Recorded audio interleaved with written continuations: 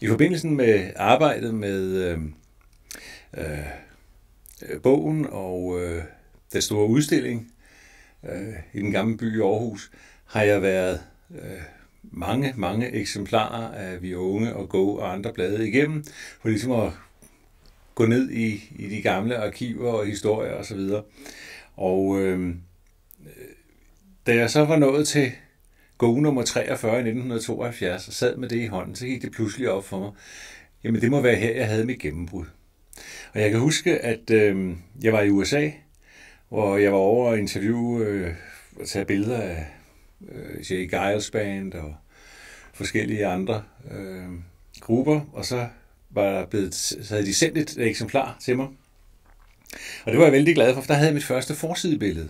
Jan Andersen på forsiden. Og jeg havde et bagside farvebillede af Stasia for Hawkwind, og plakaten var min. Øh, og ikke mindst en, en større billedserie fra øh, Roskilde øh, Festivalen var i. Og øh, da jeg kom hjem, så havde jeg et øh, interview øh, og billeder, jeg havde lavet i London med Middle of the Road i Bjunge. Øh, jeg tænkte ikke over det dengang, men nu er jeg kigget tilbage, så jamen, det var nok her, det sådan var... Øh, ja, nu, det var her, jeg tænkte, måske at det her noget, jeg kan, om ikke leve af, så tjene nogle gode penge på, og have det sjovt samtidig.